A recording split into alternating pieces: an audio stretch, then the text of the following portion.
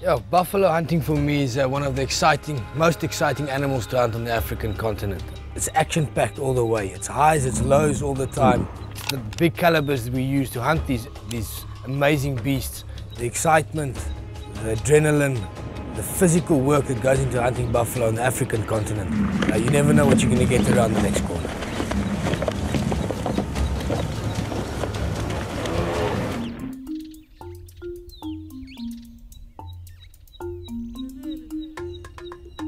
Hunting the greater Balepye area is, uh, is a wonderful place to hunt. Um, it's, not, it's not the typical Southern African game farm where you go and you got 3,000 hectares that you hunt in. We've got 26,000 hectares that, that, that's free roaming. The animals can really go wherever they want to go and it makes it a tough, exciting hunt to hunt a Balepye tribe conservation. The terrain that, that we hunt in the Balepye Nature Reserve is, you know, there's, there's thick bush, there's Mopani veld, there's um, plains, um, there's hills. So, you know, that, that's from, from, from a hunter's point of view, it's a pretty challenging hunt. And you get, like I say, from bush to plains, to open areas, to mountains. And it's really, really challenging. It's appealing for international and local hunters to come and hunt in the Limpopo the reason of being is the vastity of different animals you find in the area. You know, it's, it's so vast. It's, it's from duikers, steenbok, to elephants. You know, so you've got quite a big, broad spectrum of species you can hunt in the Limpopo. When Richard phoned us up and he said he was interested in hunting buffalo with us in the Greater Balepye Nature Reserve, my adrenaline started pumping and I, I just knew that this was going to be an exciting hunt for us to do.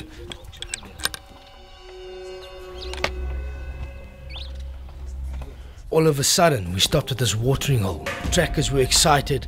They went to the watering hole, started surrounding it, and all of a sudden, there it was, our first track. Ja, is nog fresh hier. When you find tracks like this, you do not hesitate. We got our guns, we packed our bags to the shooting sticks, and we started following the buffaloes.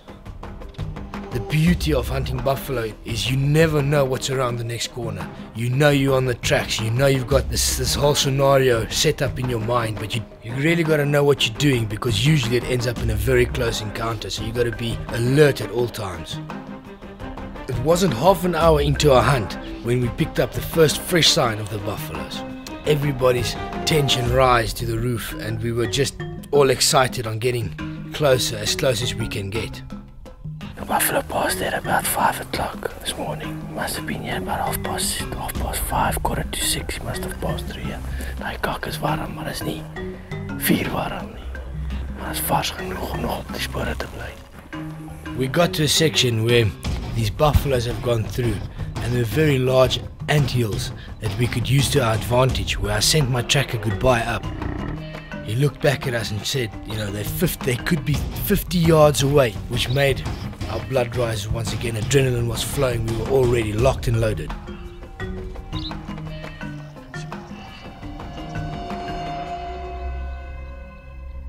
And with the advantage that we had with the anthills, I heard the oxpeckers we knew this was it. This is where we had to be. I felt the wind come up our backs, and all of a sudden, it just broke loose. Just a thunder of hooves running through the bush. High, low, high, low, high, low. It's happened to me before, Richard. Yeah, the oxpeckers come because they lie down in the shade. Or in the sun like this. Behind an anthill. You come around the anthill, fuck your ears.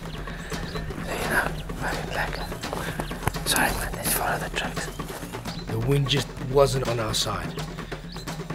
Richard and I came to the decision that we got to try and run around these buffaloes and try and break the wind coming up our backs and try and have them coming from the from the front.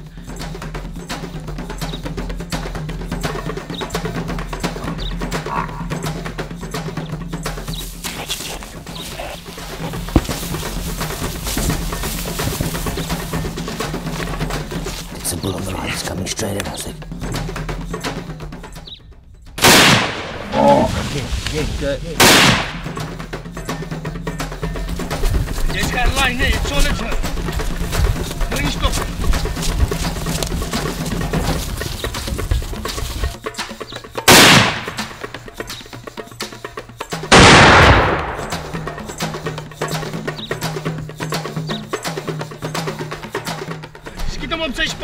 Schiet.